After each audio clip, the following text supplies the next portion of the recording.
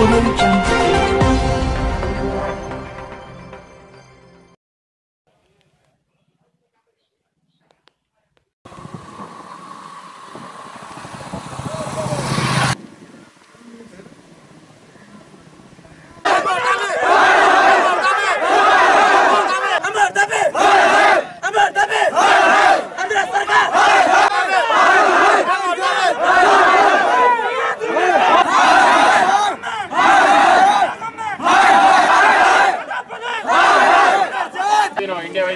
పోయింది అదే ట్రైన్ ఉంటే నిన్ను మేము ఎందుకు గుర్తుతాం పోవాయా పో అని చెప్తాం మేము.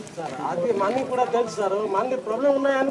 ప్రాబ్లం ఉంటే చేయాలంటే మా చేతిలో లేదు. సార్ సార్ ఎవరు ఎవరిది ఎవరెవరన్నా రెండు రెండు మూడు నెలలు అయింది ఎవరిది జీతం దొరకలేదు. అది ఒకటి నవంబర్ ఇంకా ఇంకా సలరీ రావట్లేదు. తినేకి ఇప్పుడు ఏం లేదు. మనం ఏం చేస్తాం సార్? సీఎం గారికి చెప్పి చెప్తే వాళ్ళ మీద త్రీ. డేస్ ఆగండి. రోజులు ఉన్నారు కదా. జస్ట్ త్రీ డేస్ ఒడిశా నుంచి వచ్చాము. పంచాయతీ నెల్లూరు నెల్లూరు నుంచి- నెల్లూరు అంతరం రాజపాలెంలో పనిచేస్తాం గమేశాలో.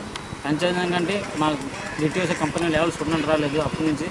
ఎవరు రావాలి సరే ఇక్కడికి వచ్చాము ఎంఆర్ ఆఫీస్కి వచ్చాము ఎంఆర్ ఆఫీస్లో మాట్లాడాము. ఎంఆర్ ఆఫీస్ అన్నాలో మీకు త్వరగా వదిలేస్తాము. ఆధార్ కార్డు రాశారు అన్నీ రాశారు త్వరగా వదిలేస్తారు అన్నారు. సరే రెండు రోజులు అప్లికేషన్ చేసాము రెండు రోజులు వెయిట్ చేసాము.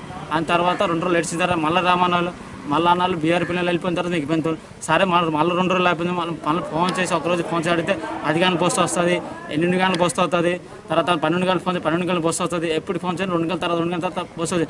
ఆ తర్వాత చెప్పారు కదా మీ ఒడిశా వాళ్ళకి పర్మిషన్ లేదు. ఒడిశాలతో మా గవర్నమెంట్ న్యూస్ చూసాము. పర్మిషన్ రావాలి? మా ఒడిశా గవర్నమెంట్ అన్నాడు కదా జగన్తో మాట్లాడిచి అందరికి పంపమని ఒడిశా. అన్నీ చెప్పినారు. మా న్యూస్ డేట్ సూత్రం చెప్పారు. సరే అనుకుని మళ్ళీ ఒక రోజు ఆగాము.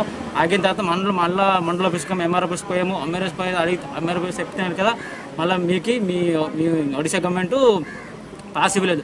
సరే అందరికి పాస్ ఇవ్వదు మాకేంది పాస్ ఇవ్వదు అదే మీది మీది ఆధార్ కార్డు అన్ని ప్రూఫ్ రాసేయాలి మూడు షూట్లు రాసేయాలి కానీ ఏం పని పంపితే మా పంపలు ఎక్కడికి వచ్చి ఇప్పుడు వెళ్ళి అడిగితే అక్కడ హెల్త్ ఎంత ఇప్పుడు హెల్త్ స్కిన్నింగ్ అయింది హెల్త్ స్కిన్నింగ్ అయితే మీ అందరు బాగున్నారు మీరు ఒడిసి వెళ్తారు. తెలిసి చెప్పగానే ఇక్కడ చెప్పాము. ఇక్కడ చెప్పిన తర్వాత ఇక్కడ ఇక్కడ అంటున్నాం కదా మీకే మొండలు ఎంఆర్ ఆఫీస్ అందరూ మీకు మాకు చెప్పేసి వచ్చారా?